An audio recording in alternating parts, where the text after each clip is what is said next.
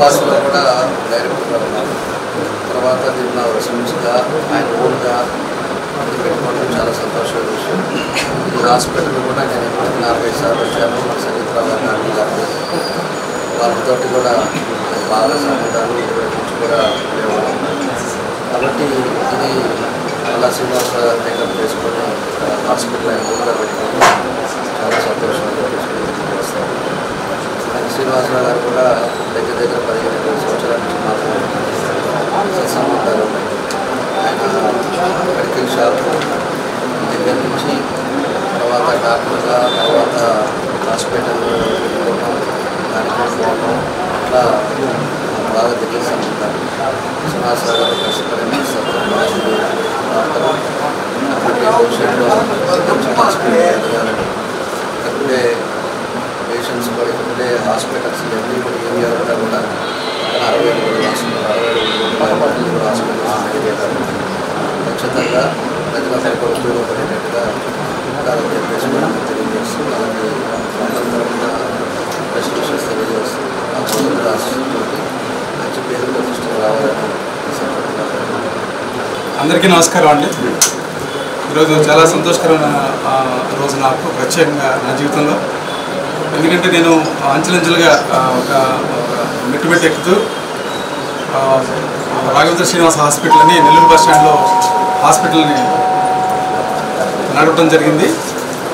అయితే తర్వాత ఆ హాస్పిటల్ సరిపోకపోవడం వల్ల పేషెంట్స్కి సౌకర్యాలు సరిగ్గా ఉండలేకపోవడం వల్ల నేను అరవై అడుగుల రోడ్లో సత్యనారాయణపురం పాత రోజుల్లో విజేత హాస్పిటల్ అని ఇక్కడ సరోజిని మేడం డాక్టర్ గారు గైనకాలజిస్ట్ ఉండేవారు సంగీతరావు గారిని అనస్థిస్ట్ మేడము సార్ వాళ్ళ హాస్పిటల్లో ఈరోజు నేను స్విమ్స్ హాస్పిటల్ అని రాఘవేంద్ర శ్రీనివాస హాస్పిటల్ స్విమ్స్ హాస్పిటల్గా పేరు మార్చడం జరిగింది. Srinivasa institute of medical sciences SVIMS అని నామకరణం చేయడం జరిగింది. భవిష్యత్ రోజుల్లో ఇది ఒక చిన్న పేదవారి కార్పొరేట్ హాస్పిటల్గా డెవలప్ చేయాలనే ఉద్దేశంతో పేరు ఈజీగా గుర్తుపెట్టుకోవడం కోసం స్విమ్స్ హాస్పిటల్గా నేను దీన్ని రూపాంతరం మార్చడం జరిగింది. ఈ కార్యక్రమానికి ముఖ్యంగా ఎమ్మెల్యే గారు రావడం నాకు చాలా సంతోషం. ఎందుకంటే ఎమ్మెల్యే గారు చాలా కాలం నుంచి నాకు చాలా సంతోషం ఆత్మబంధువుగా ఉన్నారు నాకు యాక్చువల్లీ మేమంతా చాలా రోజు కలవకపోవచ్చు కానీ మేము అవసరమైనప్పుడు ఖచ్చితంగా కలిసి ప్రజల మంచి కోసం కలిసి పనిచేసే సందర్భం నాకు వారితోటి చాలా సందర్భాల్లో కలగడం నాకు చాలా సంతోషకరం. ముఖ్యంగా ఈరోజు మా హాస్పిటల్ స్విమ్స్ హాస్పిటల్స్ ఓపెనింగ్కి ఎమ్మెల్యే గారు రావడం మాకు చాలా సంతోషం. వారు ఇప్పుడు మాకు ఇప్పుడు ప్రోత్సాహకరంగా ఉంటారు.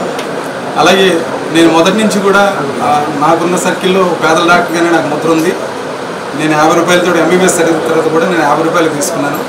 కోవిడ్ తర్వాత ఉన్న పరిస్థితిని దృష్టిలో నేను ఓపీని వంద రూపాయలు చేశాను.